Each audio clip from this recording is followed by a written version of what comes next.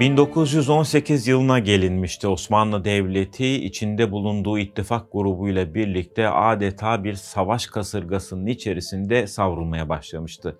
1915 yılında cepheden gelen güzel haberler şimdi yerini kasvetli haberlere bırakmıştı. Ülke cephelerde mücadele etmenin yanı sıra içeride de yoksullukla mücadele ediyordu. 4 senedir süren savaş gerçek anlamda Türk milletini ve Osmanlı Devleti'ni bitişe, iflasa doğru sürüklüyordu. İşte bu noktada gündeme bir haber bomba gibi düştü. Osmanlı Padişahı 5. Mehmet Reşat vefat etmişti. 1918'in Temmuz ayında padişahın cenaze töreni yapılırken aynı zamanda yeni padişahın da cülus yani tahta çıkışı tebrik ediliyordu. Yeni padişah Şehzade Mehmet olacaktı. 6. Mehmet.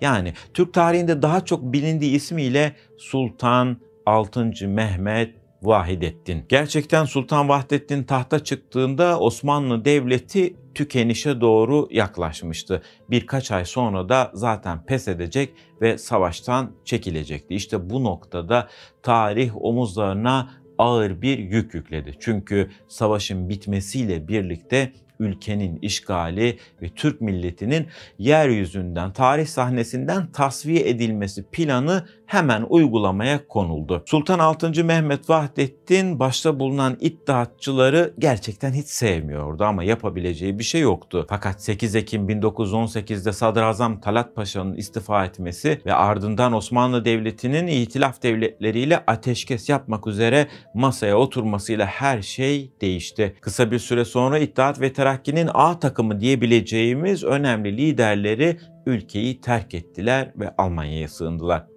İşte artık Sultan Mehmet Vahdettin için iddiatçılara karşı hamle yapma zamanıydı. Hamle yapma zamanıydı ama İttihat Terakki'nin bütün kadrosu olduğu gibi devlet sistemi içerisinde duruyordu. Ordudaki pek çok subay iddiatçıydı. Anadolu'daki pek çok mülki idarede iddiatçılardan oluşuyordu sultanın hepsini tasfiye etmesi imkansızdı. Çünkü aynı anda ülkede işgaller başlamıştı. Sultanın İttihat ve Terakki'yi tasfiye etme planından daha büyük bir sorun vardı. İtilaf devletleri donanması İstanbul'a gelmiş demir atmış, toplarını saraya çevirmişti. Ve Mondros Ateşkes Anlaşması'nın muğlak bilinmeyen maddeleri kullanılarak itilaf devletleri önemli yerleri de işgal ediyorlardı sultanın önünde bir karar vardı. Ya itilaf devletlerine karşı direnecekti veyahut da tamamen tasfiye olunmamak yani hem Osmanlı Devleti'nin hem de Türk milletinin Batılıların insafına kalmaması için sesini çıkarmayacaktı. Ne verirlerse ona razı olacaktı. İşte sultanın önündeki tarihi görev tam olarak buydu. Sultan Vahdettin Şehzade'nin de kendini iyi yetiştirmiş biriydi ama dünyayı tanımıyordu. Dahası olaylara kuşkucu yaklaşan, hemen harekete geçmek istemeyen kişilik özellikleri de ani karar almasını önlüyordu. Bu önüne açılacak süreç için gerçekten sıkıntılı bir özellik olarak karşısına çıkacaktı. Fakat dünyayı tanımak için yaptığı bir hamle de vardı şehzadelik döneminde kendisi Osmanlı Hanedanı temsilen Almanya'ya gönderilecekti. Alman devleti onu ağırlayacak. Cephede ne kadar iyi durumda ve güçlü olduklarını bu genç şehzadeye gösterecek. Böylelikle müttefiki olan Osmanlı Devleti'nin kendi yanında savaşa devam etmesi için bir tedbir almış olacaktı. Tarih enteresan bir duruma şahitlik ediyordu. Çünkü Sirkeci'de bekleyen trene şehzade geldiğinde şehzadenin heyetinde genç bir subay vardı. Bu genç subay Suriye'de 7. orduyu yönetmiş ama oradaki sorumlu Alman General Falkenhayn'la anlaşamadığı için istifasını vermişti. Boşta kalan bu subaya bir teklif götürülmüştü. Şehzadenin fahri yaverliğini yapmak ve Almanya gezisine katılmak. Genç subay da bunu bir fırsat olarak gördü ve kabul etti. İşte bu genç subayın adı Mustafa Kemal Paşa'ydı. Mustafa Kemal Paşa ve Vahdettin Almanya'ya birlikte seyahat ediyorlardı. Mustafa Kemal Paşa geleceğin padişahının yaveri olarak ekipteydi. İkisi de birbirini bu gezide çok iyi tanıdılar. Daha sonra Mustafa Kemal'in anlattığına göre Sultan Vahdettin'in olaylara hızlı tepki vermemesi hep muğlak konuşması bir sorundu. Ayrıca geleceğin sultanının dünyayı çok iyi tanımadığının farkına varmıştı Mustafa Kemal Paşa. İleride kader ikisini mücadele etmek için rakip duruma getirecekti ve her ikisi de birbirine karşı hamlelerini bu gezide edindikleri fikirler üzerinden yapacaklardı. Gezi verimli geçti ama her ne kadar Almanlar gösteriş yapsalar da onlar da güçlerinin sonuna geliyorlardı. Mustafa Kemal Paşa burada Almanların savaşı kaybedeceğini anladı ve bunu Veliaht Şehzade'ye söyledi. Yapılması gerekeni kendisine uygun bir dille anlattı. Gücü ele almalıydı ve sorumluları tasfiye etmeliydi.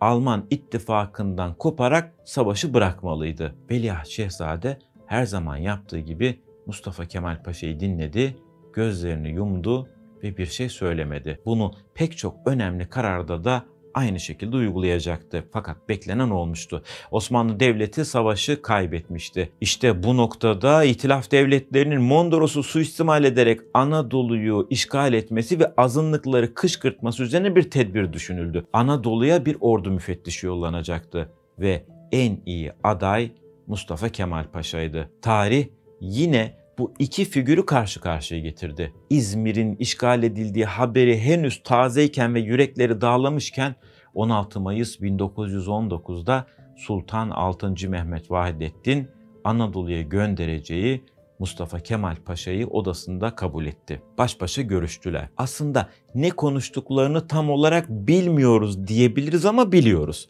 Çünkü yıllar sonra Türkiye'nin Cumhurbaşkanı olacak Mustafa Kemal Atatürk burada ne konuşulduğunu anlattı. Hatta anlatmakla da kalmadı. Kendisinin ve sultanın oturduğu yerleri de bir kroki halinde çizdi. Peki ne konuşmuşlardı? Burada Sultan Vahdettin Mustafa Kemal'in hizmetlerini övdükten sonra yeni bir görevin onu beklediğini söylüyordu ve elini masanın üzerindeki tarih kitabına koydu. Şöyle dedi ve elini masanın üzerindeki tarih kitabına koyup şöyle dedi. Paşa, bugüne kadar devlete çok hizmet ettin.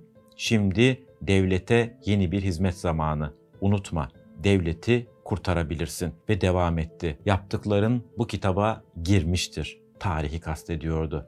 Fakat daha sonra Mustafa Kemal Paşa'nın söylediği burada Vahdettin'in aslında gidip bir milli mücadele başlatmak istemesi değil, Osmanlı Devleti'ni ve tahtı kurtarmak istediği yönünde olacaktı. Ama Anadolu'ya 19 Mayıs 1919'da ayak basan Mustafa Kemal Paşa kısa bir süre sonra İstanbul'un emirlerini dinlemeyerek bir milli mücadele başlattı. 1919 ve 1922 yılları arasında süren Türk milli mücadelesinin başkomutanı ve tartışmasız lideri Mustafa Kemal Paşa'ydı. Ama Vahdettin milli mücadeleye karşı olumsuz bir tutum takındı. Çünkü onun düşüncesine göre bir milli mücadele bir macera demekti ve Osmanlı Devleti'nin bu macerayı kaldıracak gücü yoktu. O nedenle itilaf devletlerinin dedikleri uygulanmalı ve kazanılacak neyse o kazanılmalıydı. Ama Mustafa Kemal Paşa aynı şekilde düşünmüyordu. Ya istiklal ya ölüm parolasıyla ya tamamen bağımsız ve başı dik bir ulus olmayı veyahut da tamamen tarih sahnesinden çekilmeyi öngörüyordu. İşte bu iki mücadele yani İstanbul ve Ankara'nın mücadelesi yani Sultan Vahdettin ve Mustafa Kemal Paşa'nın mücadelesi Ankara'nın lehine bitti. Fakat Sultan Vahdettin'in Anzavur ordusunu kurup Anadolu'nun üzerine yollaması, Mustafa Kemal ve arkadaşlarına Şeyhülislam'ın verdiği idam fetvasının altına imza atması, Sevr Anlaşması'na sesini çıkarmaması Ankara'da büyük bir öfkeyle karşılanmıştı. Büyük zafer, büyük taarruz kazanıldıktan sonra artık Sultan Vahdettin bu oyunu kendisinin kaybettiğini anladı. Zaten mecliste çok durmadı. 1 Kasım 1922'de saltanatı kaldırdı saltanatın kaldırılması üzerine 622 yıllık Osmanlı Devleti aslında resmen sona eriyordu. Peki Osmanlıların son padişahı Sultan 6. Mehmet Vahidettin ne yaptı? 1919-22 yılları arasında milli mücadeleye karşı olumsuz tavrının onun için iyi olmadığını biliyordu. Bu nedenle İngiliz işgal komutanlığına bir mektup yazdı ve Müslümanların halifesi olarak sığınma talep etti ve bir İngiliz savaş gemisiyle önce Malta'ya ardından da ömrünü tamamlayacağı İtalya'ya geçti. Sanremo'ya yerleşti. Çok sürmedi. İki sene sonra Türkiye Büyük Millet Meclisi bütün hanedan üyelerinin yurt dışına çıkarılması için bir kanun hazırladı. Artık son kalan Osmanlılar da yurt dışına sürgün ediliyorlardı. İşte bu noktada 1926 yılına kadar Sultan 6. Mehmet Vahidettin yani Osmanlıların son sultanı ve devrik hükümdar İtalya'da Sanremo'da Villa Manol adlı bir yerde yaşadı. Çok dar bir mahiyeti vardı ve işler gün be gün kötüye gidiyordu. Çünkü kendisi çok ciddi parasızlık çekiyordu. Özellikle mahiyetindeki sorumsuz birkaç kişinin de davranışları yüzünden elde avuçta kalan parada suyunu çekmişti. Bir süre sonra artık sultan yani Devrik Sultan Vahdettin oturdukları villanın üst katından hiç inmez oldu. Kalp hastasıydı. Çok aşırı derecede sigara ve kahve tüketiyordu ve gün be gün çember daralıyordu. Ne hanedanın durumu iyi olan öteki üyelerinin para teklifini ne de İtalya kralının tekliflerini kabul etmemişti. Sürgündeydi, oyunu kaybetmişti ve sessiz sedasız bu dünyadan gitmek istiyordu. Hiçbir siyasi faaliyette bulunmadı. Odası içtiği sigaralardan adeta bir bulut altındaki sürgün yeri gibiydi ve 1926'da bir haber geldi.